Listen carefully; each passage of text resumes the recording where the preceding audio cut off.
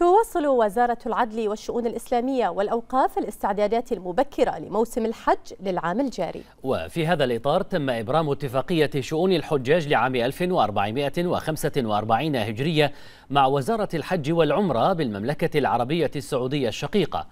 ونوه سعادة السيد نواف بن محمد المعودة وزير العدل والشؤون الإسلامية والأوقاف بالجهود التي تبذلها وزارة الحج والعمرة في خدمة حجاج بيت الله الحرام والحرص على التنسيق المتواصل لتقديم كل ما من شأنه تيسير شؤون الحجاج والمعتمرين البحرينيين.